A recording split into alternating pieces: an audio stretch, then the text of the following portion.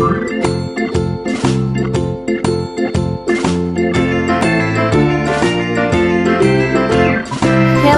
kids, it's learning time and today we're going to talk about matter.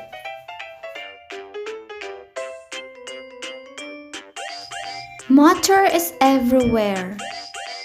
Everything you see inside the classroom, living room, bedroom, or kitchen, the food you eat, and everything you drink.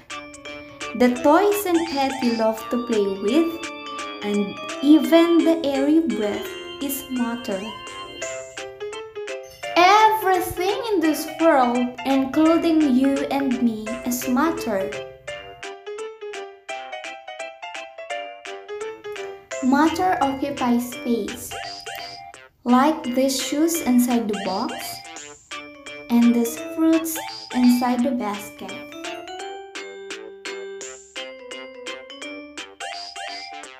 Matter has weight, whether it is heavy or light objects. Let's think about it. How many different ways can matter exist? Matter exists in three different ways. The three states of matter are solid, liquid, and gas.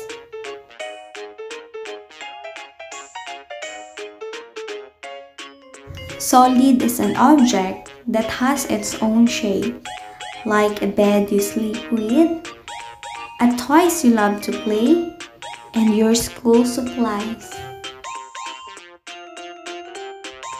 Solids are things you can hold, pick up, and feel the shape and texture. It may be hard, soft, smooth, or rough. It comes in all different sizes, from the biggest to smallest object.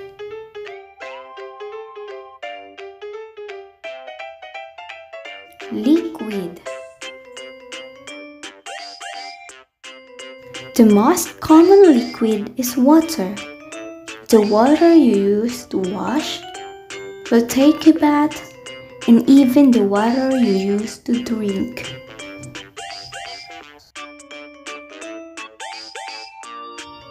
Liquid doesn't have its own shape. It takes the shape of its container.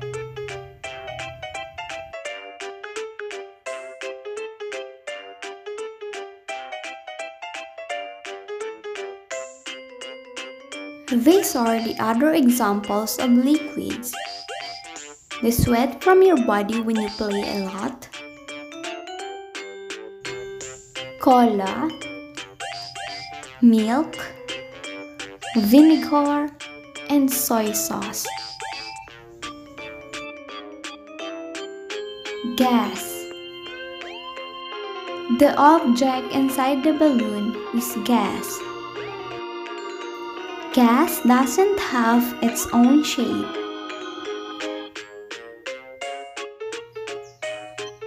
And like a liquid, it also takes the shape of its container.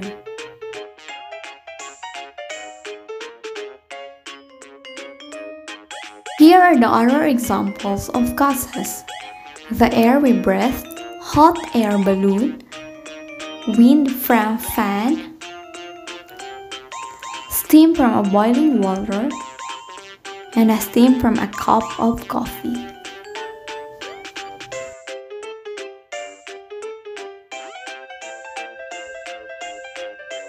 Matter is everything around us. It occupies space and has weight. The three states of matter are solid, liquid, and gas.